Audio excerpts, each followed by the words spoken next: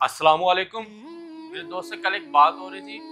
पहले भी टेंशन में था, अब उसका वीज़े के लिए उसका इंटरव्यू था एम्बेसी में, अभी भी परेशान था। इस तरह के लोग भी होते हैं। जब कुछ नहीं होता, फिर भी परेशान होते हैं, जब कुछ आ जाते फिर भी परेशान होते हैं। पहले से ही इमेजिन करके परेशान हो जाते हैं। अच्छा इमरान खान की पॉपुलैरिटी की क्या वजह है? ये बाद में हम देखते हैं। अच्छा स्ट्रगल वो कर रहा है वो बंदा ना। देखो जॉब लगी हुई है उस बंदे की। बंदे ने आगे मूव आउट करना है, आगे जाना है। उसका शौक है यार, मैं भी फ़ौरन जाऊँ। गुजराती सारे आपको देखा होगा, गुजराती भाई सारे यूके में बैठे होते हैं ज़्यादातर, या यूरोप में बैठे होते हैं। और देखा रहे ना इन्हें तो वो दोस्त की भी इसी तरह ख्वाहिश है, गुजराती तो नहीं है, लेकिन गुजरात आस पास के ही है। उसकी भी ख्वाहिश है कि यार मैं बाहर जाऊँ। अच्छा जब उस बाहर नहीं जा रहा था यार, उस वीज़े की जो प्रोसेस के लिए पैसा लग रहा था उसको परेशान था यार पैसा कहाँ से आए यार? इतना पैसा। पैसा आ गया एडमिशन करवा लिया लेटर मिल गया एम्बेसी में इंटरव्यू है। परेशान है यार, अगर वीज़ा ना लगा तो फिर क्या बनेगा? इसके हर, यार स्ट्रगल वाले फेस में हम जाना ही नहीं चाहते ना। यार, यहाँ पे थोड़ा हम चले गए तो पता नहीं क्या हो जाएगा।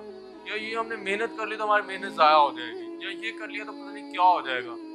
इस फेस में हम कितना डरते हैं हम लोग ना, इस फ़ेज़ में जाने के लिए। हालाँकि इस फ़ेज़ से निकल के आगे जाते हैं। तो इमरान खान, देखो पॉलिटिशियन में भी तो यही होता है ना, सियासतदान क्या कर रहे होते हैं? हर सियासतदान स्ट्रगल कर रहा होता है। लेकिन इमरान खान की सियासत के बारे में बात वो एक्स्ट्रा स्ट्रगल करता है। नेगेटिव पैदा करता है वो ना, वो अपना एक जो उसका ख्याल होता है, या जिससे पता होता है, यार, ये चीज़ इस इस मौके पर चाहिए।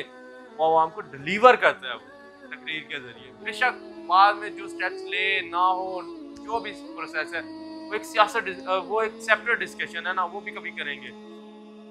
तो लेकिन वो एफर्ट करता है, वो तकरीरें करता है, जदोजहद करता है, बैठता नहीं है, उसे पता होता है, यार, चलो खैर है मैं इस स्टेप से हार गया। मैंने आगे कौन सा स्टेप लेना है?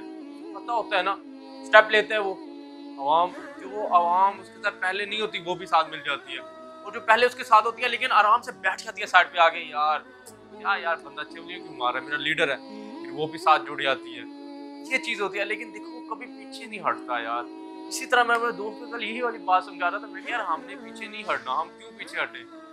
होता रहता है यार, बड़े मुश्किल आती हैं टफ अच्छा अच्छा दुनिया में कोई भी इंसान ऐसा नहीं है जिसके साथ मुश्किल और मुश्किल ना आई हो। तो जिसके साथ मुश्किल आती वो कहते हैं, यार, मेरे, मुझ पे यार, कड़ी मिलते मुश्किल आई है ना, किसी से आई ही नहीं हैगी। हो ही नहीं सकता है किसी से मुश्किल आई हुई कड़ी मिलते आई है। हर इंसान ये कह रहा होता है ना, हर इंसान को लग रहा होता है ना, ये चीज़ मैंने एक एनालिसिस की, मैंने कहा, यार, नहीं सब कुछ आर्जी है। मुश्किल का सोल्यूशन कैसे निकालना है? इससे निकलना कैसे है? इसमें से स्टेप फॉरवर्ड कैसे करना है? रिवर्स स्टेप लेके सही रास्ते पे कैसे जाना है? इस चीज़ों के बारे सोचने की ज़रूरत है ना हमें। देखो, बच्चा नाइन्थ में फेल हुआ क्यों हुआ है? चेक करने की ज़रूरत है। क्या चेक करना है? मोबाइल फ़ोन ज़्यादा यूज़ करता था। पढ़ता कम था। उसकी उस फ़ील्ड में इंटरेस्ट नहीं है।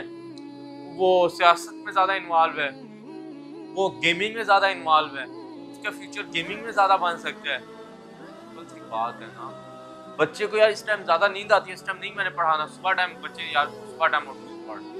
छठ सुबह टाइम उठ के पढ़ सकते रात के टाइम सोना पहले पढ़ सकते ना पढ़। स्कूल तो आकर रेस्ट करो तो बड़ा पढ़ सकते उस टाइम पढ़। जिस टाइम वो मुमकिन है, उस टाइम उसे पढ़ने दें।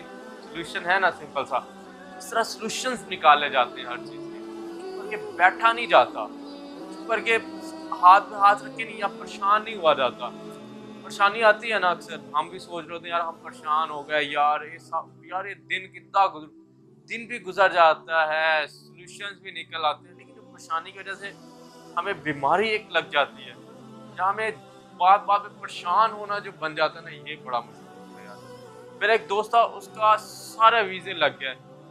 क्लासेस उसकी ये थी, उनतीस अगस्त को उसकी क्लास थी।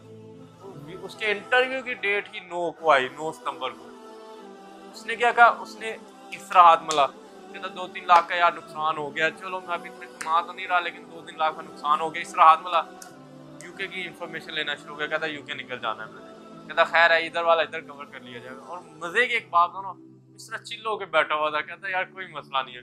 और मज़े की बात अब डॉलर ऊपर जा रहे हैं। सबने देखा होगा ना, पता नहीं, दो सौ अट्ठाईस पे या इक्कीस पे था मैंने जब देखा था।